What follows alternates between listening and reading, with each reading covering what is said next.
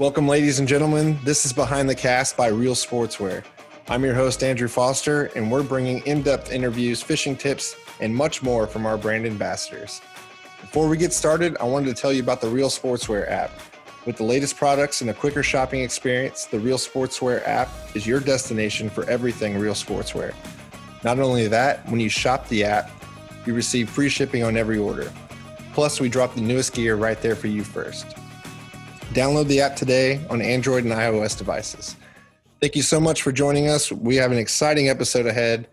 Our guest today is charismatic redfish master, fishing guide, tournament angler, entrepreneur, chef, and so much more. He also makes one hell of a margarita, Captain Alan White. How you been, Alan? I've been well, Andrew. Thank you for the nice introduction there. Captain Alan White is a seasoned fishing guide, tournament angler. He is one of the original brand ambassadors for Reel Sportswear and has been with us roughly six years. He's played a pivotal role and provided Reel Sportswear with insight on product creation, testing, and many hours on the water. Um, let's see, Alan. So you've recently took third at the Saltwater Angler Redfish Series tournament. Yes, I did. You want to tell us a little bit about that? It was a good experience. That is a very challenging tournament. It's a lot of strategy involved in it, but it's a very good tournament format. Real honest tournament. I really like it. Good payout. Who were you fishing with? I was fishing with a friend of mine named Kevin Bertram, a guy I used to bay fish with years ago. He was a former guide several years ago with me. Very cool. Um, and y'all have actually done pretty good here in the Saltwater Angler Series, yeah? Yeah. So this year we've taken a sixth place was the first tournament. And we managed the third place for the second tournament we were in. Awesome. And it's just redfish, right? Just redfish. It's a five redfish over a two day tournament. Um, all right, so let's see. The whole point of behind the cast is to get you uh, get to know you guys a little more. As brand ambassadors, y'all are kind of the face and the spokespeople of Reel Sportswear. So I thought it'd be cool to do these little interviews where we get to know a little bit more about you, where you come from, what you like to do. You know, more than just fishing. So let's get to know you a little bit better. Uh, you lived in Flower Bluff for quite a while now. Uh, I know you got a sweet operation. Uh, listeners, as he's talking to me here, he's sitting on his deck I believe it is called the Cantina. What, you, what is it called again, Al? Oh, it's just a Cantina sign with Padre Island underneath it. It's just the party porch, is what it is. There it is, the party porch. So you lived in Flower Bluff for a while, but where were you really born and raised? So I was I'm from Northeast Missouri. I was I was uh, brought up in the Midwest. Uh, did a lot of time on the Mississippi River as a youngin, but yeah, brought up in the Midwest, and I'm from Northeast Missouri. Awesome, man. I'm not from I'm not from Texas, but I got here as quick as I could. well, what brought you to Texas? Uh, I really uh, enjoyed the music scene in Austin, and so I moved to Austin and spent about 15 years there during the golden days of Austin. Really enjoyed it. Met a lot of people, had a lot of fun, and uh, did a lot of fishing up there. But I got my taste for the saltwater as I was living in Texas, and the time came. It was just time to move, and get closer to that saltwater. I really enjoy the saltwater fishing, and enough that you know I just wanted to move here. Yeah. What what year did you move down? I moved uh, to Corpus Flower Bluff in 2000. Wow. Shoot, yeah. I think I was still in high school. right on. Uh, well, who put a rod in your hand for the first time? That would be my father. Uh, my father, I remember him giving me a Zebco push button reel and he would turn me loose in the backyard with it had a spoon with no hook on it and so he would turn me loose in the backyard to practice casting oh wow. And that was my first introduction to fishing and he was also the first person that took me out fishing. I remember going out bass fishing with him on a on a little stock tank in a rowboat and just catching some really big bass. And actually i still have the picture of that those bass in, from my grandparents house. Really? Wow. Yeah.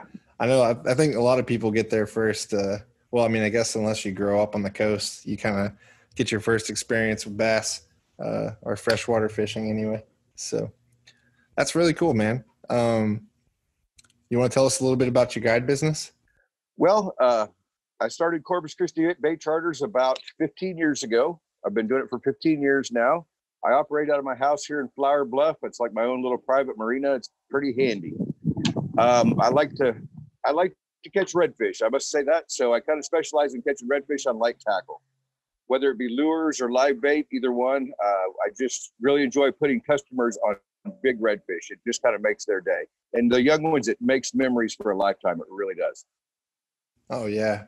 Oh, I mean, shoot, we've we've gone fishing together. Uh, just, I mean, one random morning we'll go out just right around the corner and and drift for a little bit, and uh, yeah, we've caught our fair share together. That's for sure. Yes, sir. It doesn't take much. You They're- always they're catch more than. I do. After all, I am a professional. That's true. all right, so you target uh, redfish. Um, you also do trout fishing, though, don't you? I do. I catch. We catch a lot of trout when you're targeting redfish. They hang out in the same areas and they eat the same thing. So it's a matter of just coming across them, and you you can catch those. You can catch black drum, and even a few flounder doing the same thing. But you know, it's just the the tug is the drug, as they say. You know, that redfish tug is a heavy, heavy drug. It's hard to get away yeah. That's no, I mean, that's uh, that's what got you know, I got got me hooked on it was uh, was freelining mullet and catching them big redfish. Uh, yeah, there's just nothing like it. you know, smack the heck out of it. All right, um, all right. Well, tell us something that people don't know about you. Like, what else are you into? Well, fishing was always my big hobby, but now it's my profession. But I do enjoy cooking, so I do a lot of cooking, and I really enjoy that. Cooking at home for the wife and whatever, and do it for friends. It's nice to help friends out with their cooking too. You know, teach them how to cook a proper steak, that kind of stuff. It's it's a lot of simple things, but it's you know stuff you have to apply. Sure. And I uh, actually I know this already. We did an awesome little series. I think it was a couple minutes long. Um, today's catch. And uh, what were we cooking on that again? That's a good question. Um, it was trout pinwheels, I believe. Um, we made a strawberry margarita to start the to start the episode. I Ah. remember that. And Yes. I want to say bacon wrapped asparagus were also on the menu, and there was something else. Like was it bacon wrapped redfish, or was that the other episode that never made it to cut? I think that was the other episode. But we there was one. the There was one more thing. There was- yep, yep. The, the trout pinwheels with crab stuffing and a cream sauce was the entree. Yes. Oh, and then uh, Javi did Javi the did some ceviche. um, C. Yes. yes. I don't know. See. wow.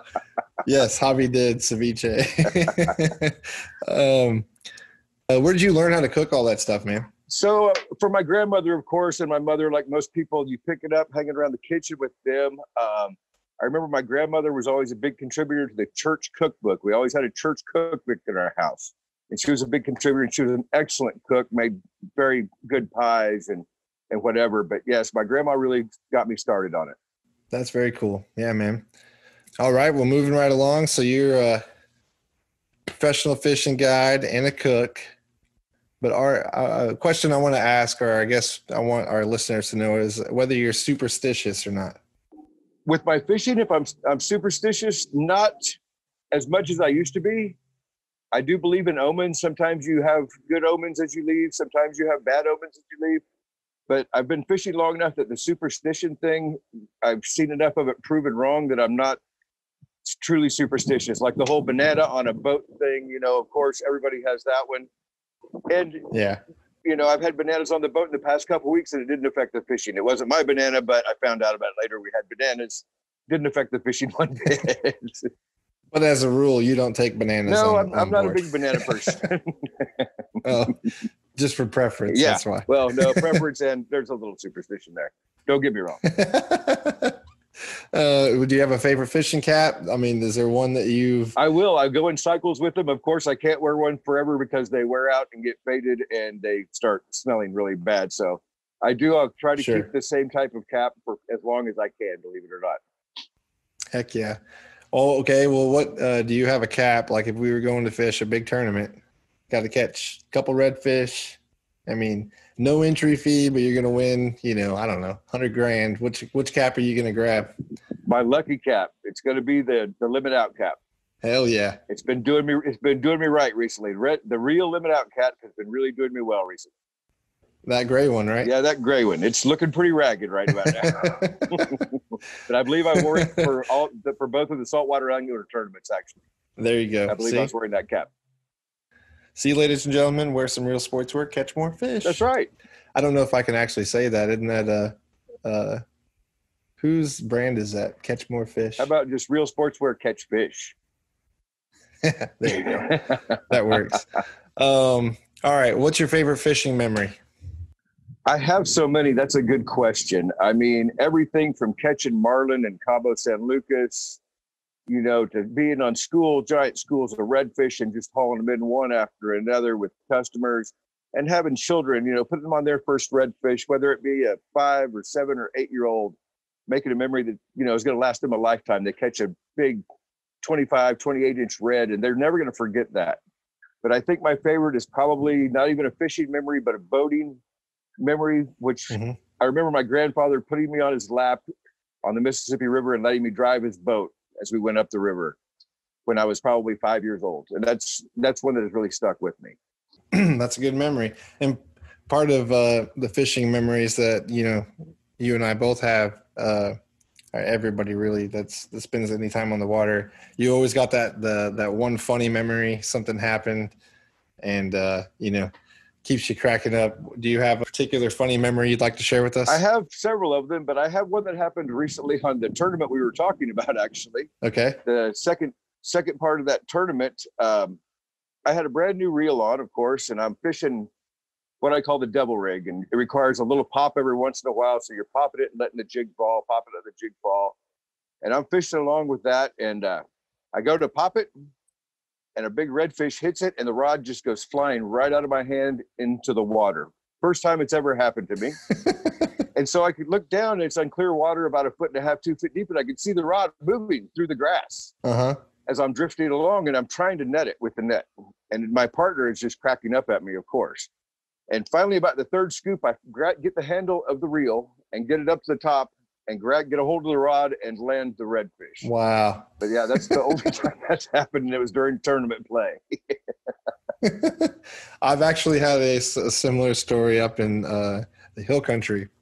I had a, uh, a rod with like worms or something on the bottom, you know, uh, and I was trying to catch these big old catfish that were uh, like schooling down there and uh, anyway, I wasn't paying attention, and it went, you know, gone. Yep. And uh, anyway, my father-in-law, we could see it down in, you know, it was probably I don't know, eight feet deep, ten feet deep, but it was crystal clear water. And uh, yeah, we went out there on the canoe and got the other reel. you know, hooked up to it, and the dang dadgum catfish was on there. Yes, so. sir. It's amazing how that works. yeah, yeah, so that's cool, man. So you got the, you know, that was the third place finish. That was the third place finish. We didn't weigh in that fish. That fish was, uh, we kicked it. It was only a 23 inch fish, so we that fish went back. But yeah, yeah. At least I got the rod and reel back. there you go. All right. So I've got, and with the behind the cast series here, I want to ask you guys a couple of serious questions. Okay. All right. So the first one here is someone gives you an elephant, you can't sell it or give it away what do you do with it? Hmm. I'd say make elephant stew. Eat eat it? I'd say make elephant stew. It's enough to feed a village. And if you run short, you can, you know, you can always add a rabbit if you need a hair more. okay, that's an interesting answer. How many pennies would fit in your tackle box? A plethora of pennies would fit in my tackle box. You, would you like the amount of pennies or the dollar amount of pennies? You can give me the dollar amount. That would be 55 50 exactly. 55 50 $55.50 exactly. Huh okay. Well maybe on a follow-up we'll go uh, we'll go measure it. go over there and try it. I don't know where we're going to get all the pennies but i've got them already. The spare change? Yeah my spare change bottle. I have them. Okay. And the last serious question is design a spice rack for the blind. Okay. That's a good one. I've never heard a question like that. I would have to put uh, three racks in it with the spices, and on in braille underneath each spice, and on the bottle would have to be the name of the spice in braille. There you go. You heard it here, folks. All right, so that's the end of this the serious question segment. couple of curveballs, right? yeah, uh, I did have one. I've got a I got a couple of doozies, and if you ever think of any funny questions, uh, ask the other guys. I mean, by all means, send them your send them my way. Okay. All right. Do you have anything else going on right now? Nope. That's about it. Uh, just uh, fishing. That's all I'm doing right now. Doing some serious fishing. Yeah, actually, I've heard that you guys are really busy right now.